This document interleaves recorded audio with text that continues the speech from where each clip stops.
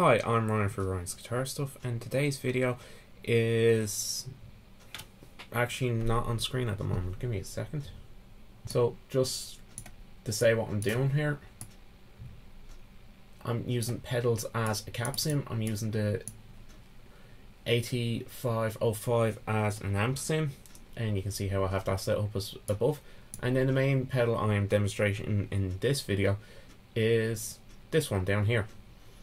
This is the Tube Driver by Nick Crow Labs. I actually quite like their um, VSTs. And this is their um, Tube Driver pedal, or rack mounted, or just VST in general actually. So you can kind of get from the name what it's meant to be. Okay, so well, here's what the clean sound.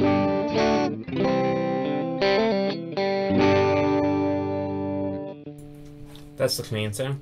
And now, if I was to drive it a bit.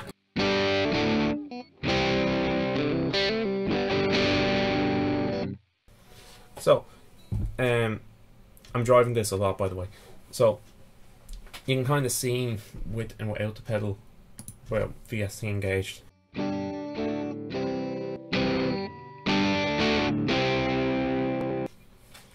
Personally, um, I don't like the idea of an EQ.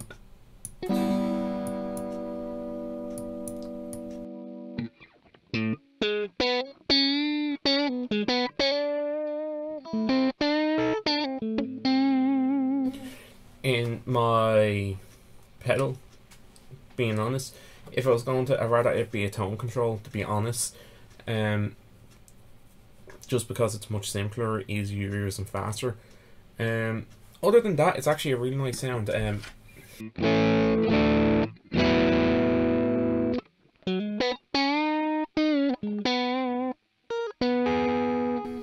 and unlike, say, for the Nick Crow, the 8505 there on screen, it's a very distorted amp, whereas this is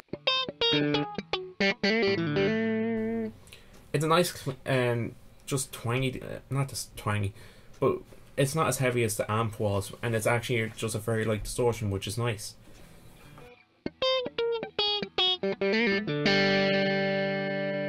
It's the kind of VST you would add to so for example here's the 8505 without the pedal and then with the pedal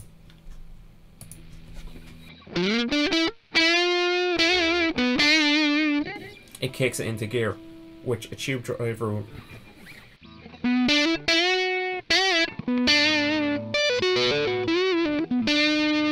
would do, which is nice. It kicks it up a notch in a sense.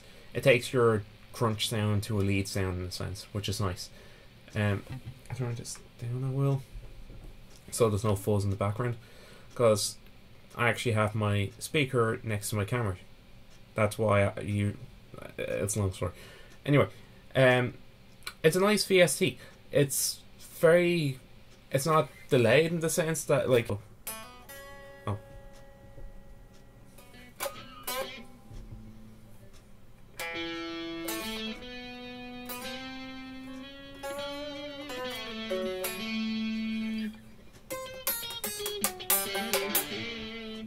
It's a bit delayed when you're playing faster, but it's not as bad as other VSTs where it can be kind of off-putting. So yeah, it's a nice VST. It's very responsive in the sense that it's not much latency in it, and there's also latency introduced by my sound card and everything. Um, but I've had VSTs in the past that were very very delayed. So yeah, I've been Ryan, and um, this has been the Nick Crow Tube Driver delay. It's a very nice, uh, not delay, Tube Driver drive my mistake. Um, few things on it. Um, you can have the mono, you can have a phase, other things, sample, all that kind of stuff on a normal VST. And yeah, it's just a really nice drive sound.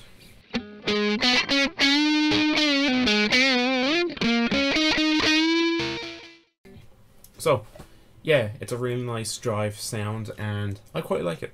So, I've been Ryan for Ryan's Guitar Stuff. See you in the next video. Like, comment, subscribe, all that's the good stuff. And see you.